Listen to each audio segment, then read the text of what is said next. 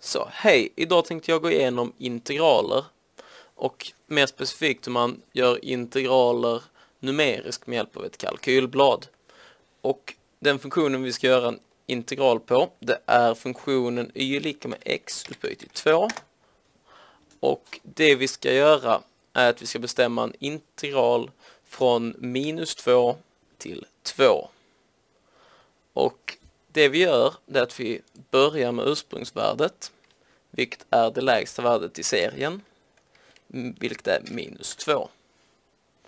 Sen använder vi kalkylbladets egenskaper och skriver att den här ska vara lika med och sen tar vi den föregående sen plus 0,1 vilket är vår steglängd. Sen tar jag och drar ut den här tills jag kommer till talet 2. Sen nästa steg så ska jag skriva in formeln. Och det vi gör är att vi tar och skriver in, vi har ju x-koordinaten i kolumnen A.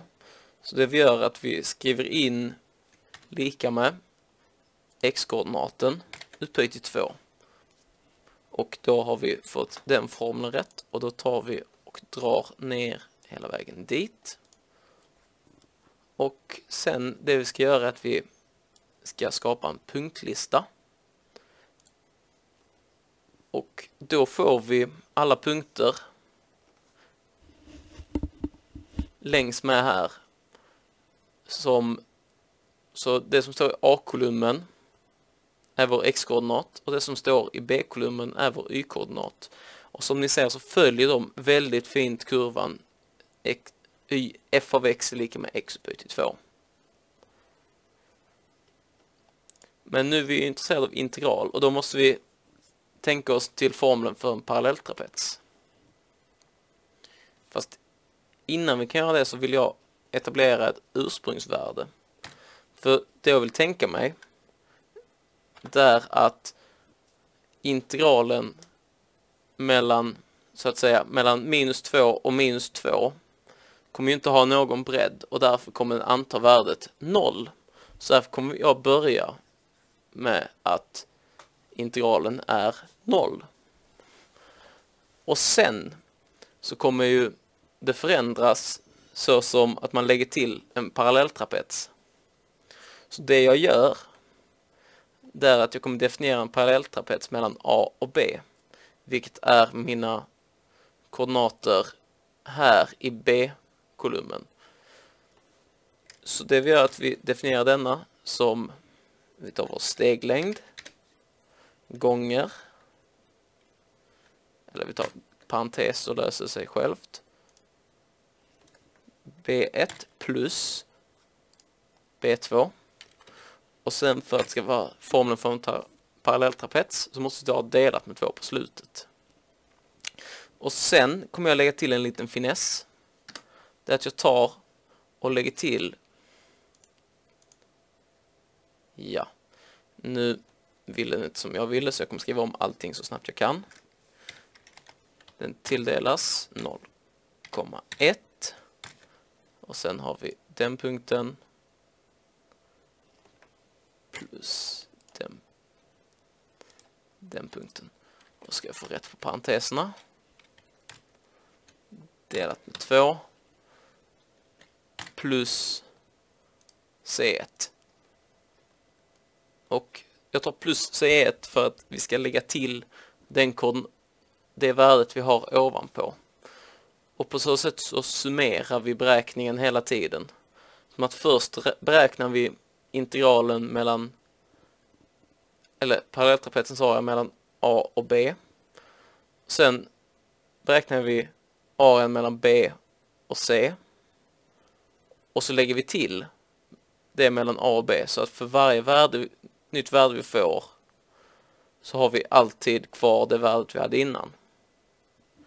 Det är ett litet knep som vi kommer se har lite effekter senare. Och sen så det är bara att ta och dra ner den lika långt.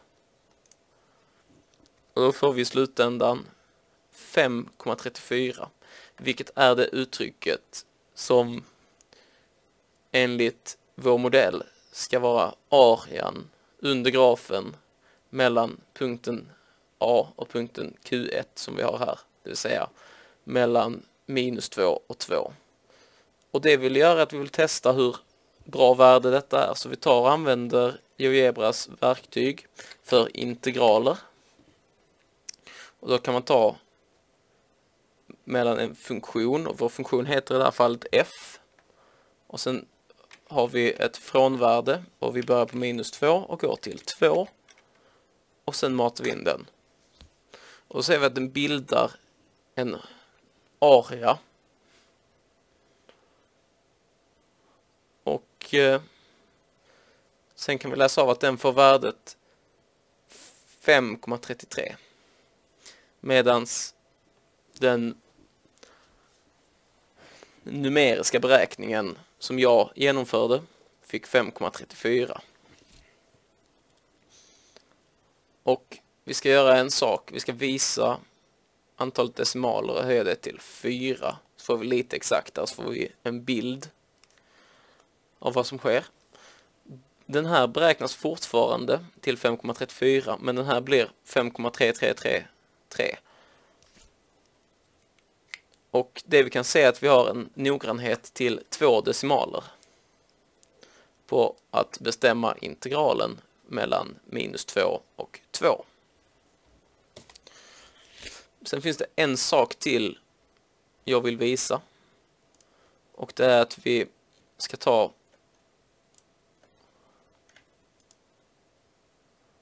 och plotta de här koordinaterna som en lista med punkter och tänka oss vad detta kan betyda.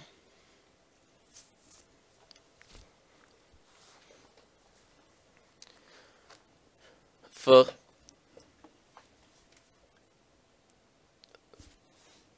det de här den nya punktmängden visar det är att i varje punkt så kan vi veta integralen från minus 2 till den punkten. För höjden, det vill säga x-koordinaten på punkten, motsvarar värdet. Så om vi tittar på till exempel punkten M här. Det vill säga den som ligger på x lika med 0. Jag kommer läsa av det härifrån. Då blir den ju 2,67.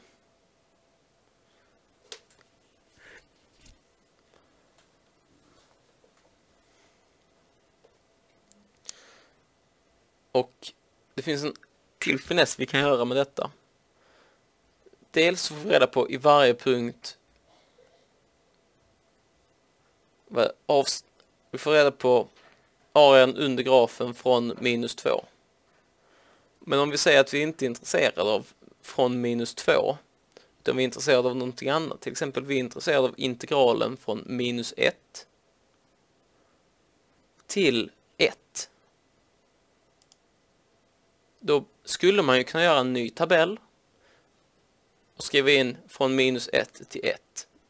Men det finns ett lättare sätt.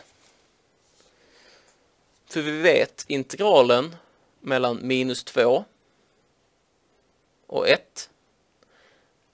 Och vi vet integralen mellan 2 och 1. Så det man kan göra det är att vi tar integralen mellan minus 2 och 1. Och sen tar vi den minus integralen mellan 2 och min, minus 2 och minus 1. Och på så vis så kan vi få ut integralen mellan 1 och minus 1. Och det vi jag kommer skriva in de här värdena för om vi tittar på vad det var i minus 1 eller vi börjar med vad det var i 1 det var 3,005 och sen så tar vi det minus 2 2,335. Och ja, nu kommer den dyka upp som ett tal som är 0,67. Och för att kontrollera så tar vi en integral funktion från och till och då tar vi återigen f från minus 1 till 1 och kollar och jämför med det värdet vi just fick ut. Och den blev istället 0,66667.